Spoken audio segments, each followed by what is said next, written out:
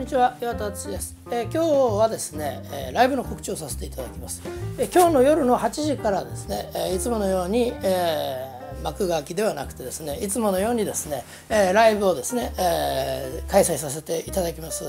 そして、えー、今日取り上げてみたいのはですね今日のニュースでは別の問題取り上げましたけれども、えー、今日のライブで取り上げてみたいのはあの日本学術会議の問題について、えー、また新しい情報がですねいくつか入ってきて私自身も、えー、自分自身が昔調べていたものをもうもう一度自分の書庫の中からですね調べ直してみたらですねああやっぱりこの資料あったというのが出てきて多分おそらく全国の皆さんがほとんど見たことのない資料であろうということを確信しておりますのでえぜひですねご覧いただきたいというふうに思います。なぜ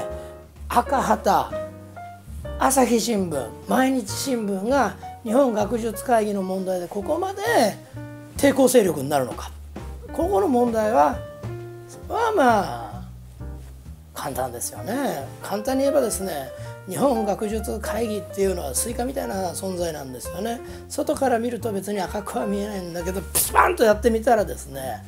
真っ赤というね、まあ、これの構造をですねお話できたらなというふうに思います。もちろんそうじゃない人もいると思いますよ。特に理系なんてはねそんなじゃないと信じたいですけどね。私も分かりませんからねその中身はね。そこの個々具体的な一人一人のねあの思想警察をやってるわけではないのでそれは分かりませんけれども今ちょっと面白い資料がありますので8時からですね、